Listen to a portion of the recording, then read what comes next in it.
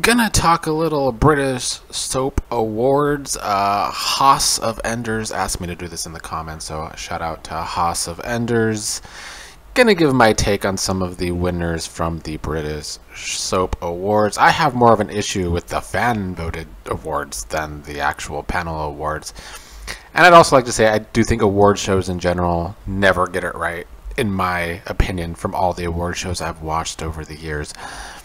But uh, let's uh, get right into some of these awards. I'm not going to talk about the award that Doctors won, which was for Best Single Episode, because I've never seen an, an, episode of Doctors in my entire life, so I can't even comment on that because I didn't see the episode.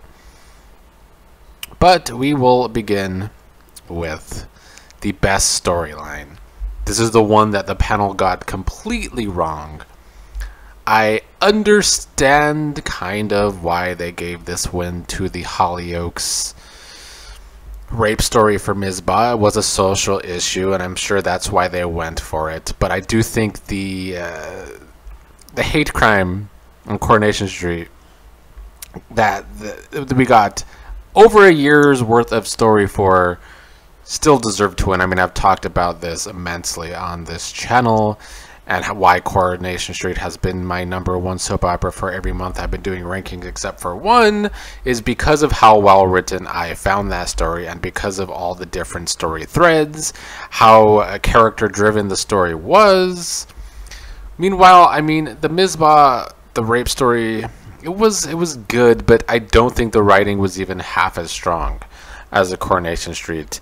And even I don't even think the Misbah story deserved to win over Jean's Bipolar on EastEnders. I think that was even better written than the story that ended up getting the win here.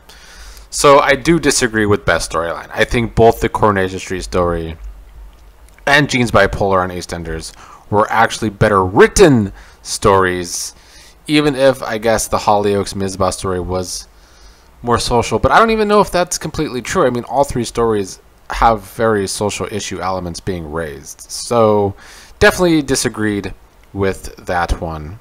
Uh, best young performer went to Millie Gibson, who plays Kelly on Coronation Street.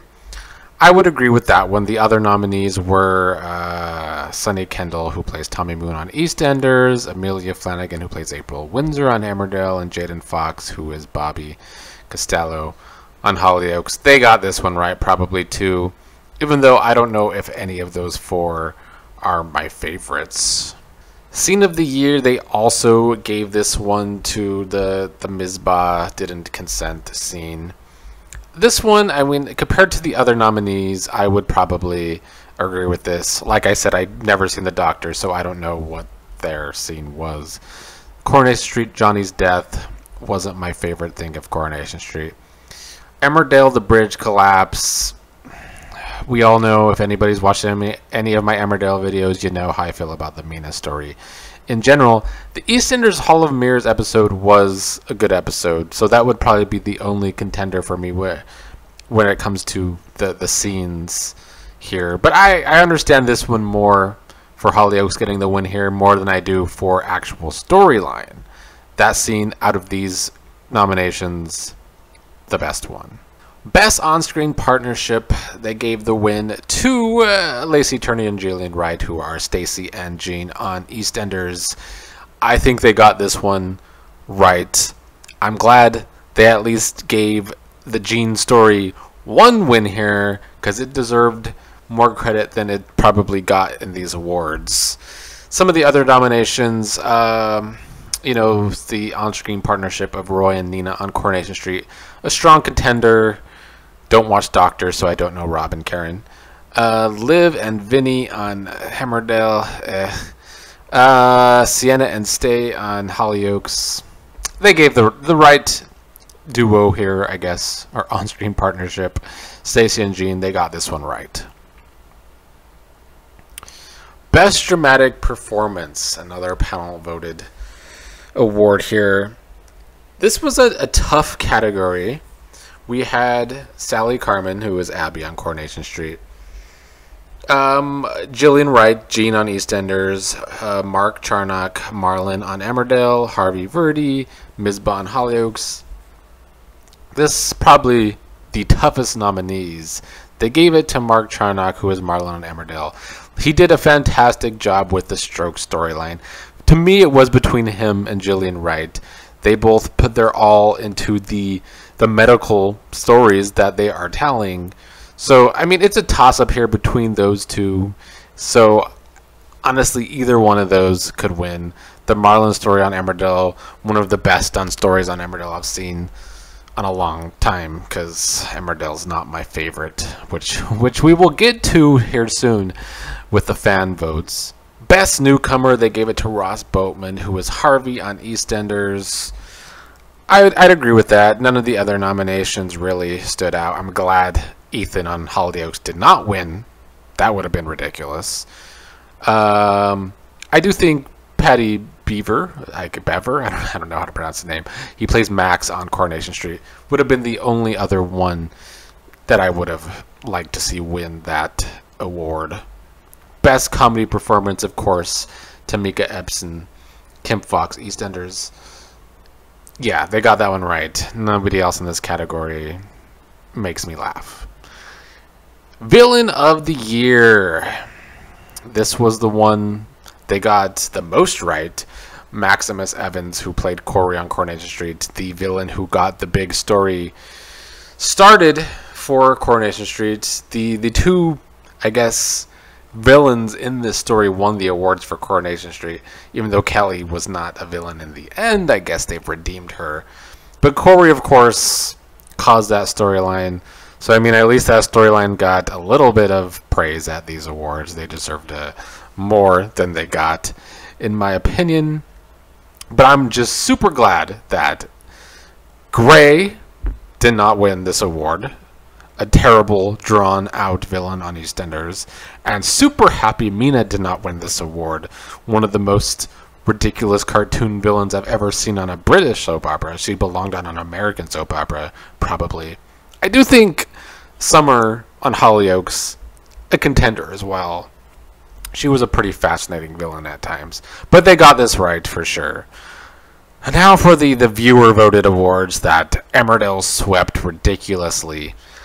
First of all, I don't even like the best family category, but I get it with British soap operas.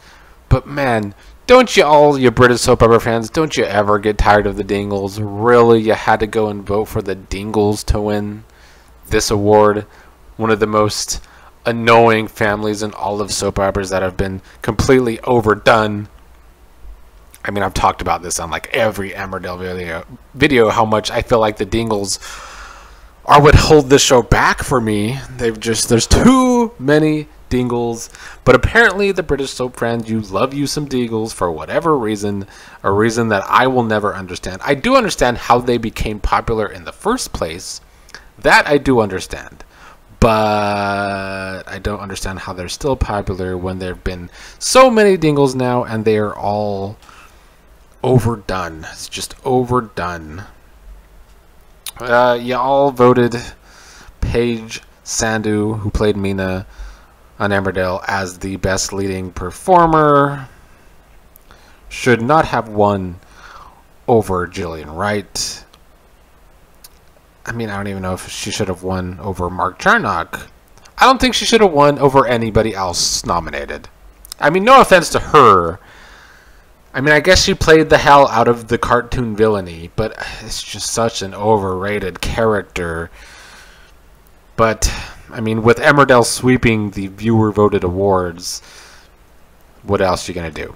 Emmerdale also, of course, won the Best British Soap Viewer Voted Award for reasons I still don't understand. I guess British soap fans left do not appreciate character driven stories that Coronation Street does and would prefer to have cartoon characters like Emmerdale. Guess that's what I could sum up from the viewer voted awards that I completely disagree with. But overall, I think the awards were a mixed bag. I agree with some of them, but the viewer voted. I guess my opinion from an American here on the, the British soap operas differ from the love that is being showered to Emmerdale. Because to me, Emmerdale has always been, of the main four British soap operas, my least favorite. And Coronation Street's not even my favorite. All the praise I've been given to Coronation Street being number one in my rankings is because I truly do believe that it's the be- best written soap opera in the world right now.